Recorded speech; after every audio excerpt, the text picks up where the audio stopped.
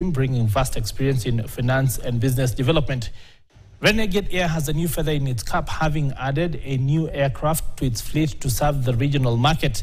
Dubbed the ATR 72-500, the plane is the first of its kind in Kenya in two decades and is expected to augment capacity in the regional air transport market. Uh, first, it's an aircraft that has been used all over the place, especially in Africa. It can land anywhere. Uh, and that's why it's been used in most parts of Africa, very and, and strangely not, not, not enough in Kenya.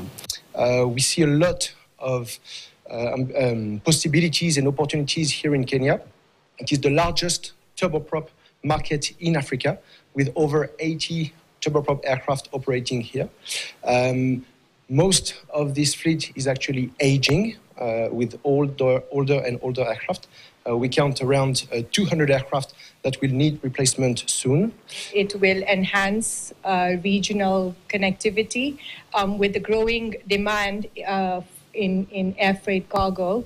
Um, like in the last month, the sales said uh, Africa had an 18% increase in cargo as opposed to other um, other sectors in, in, the world.